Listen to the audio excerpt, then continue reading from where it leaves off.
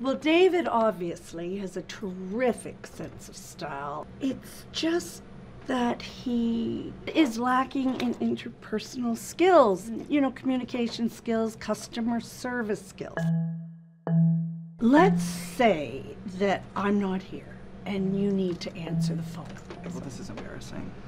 Just answer the phone. Bring, bring, bring, bring, bring. Hi. Why don't we just give it another try? Just start with, um, hello? This is the blouse barn. Bring, bring, bring, bring, bring. Hi, how are you? David, no.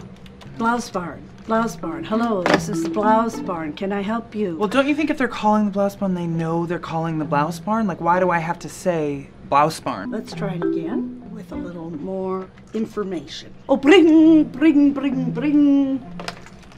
Hello, this is the blouse barn, obviously. How can I make your day better? Now, let's say a woman my age mm-hmm. is looking for a top mm-hmm. and she's looking and she sees this top. Mm-hmm. What are you going to say to her? I would say I think there are other options. This one's a little bit skanky. You do not say skanky. Trashy. None of these words will work in the blouse barn. What you might say is, ooh, it's very Central Pez. Or it would be lovely for going out and shopping for makeup. I don't even know what fabric. This is made out of just human hair or something. Acrylic, Italian acrylic, David.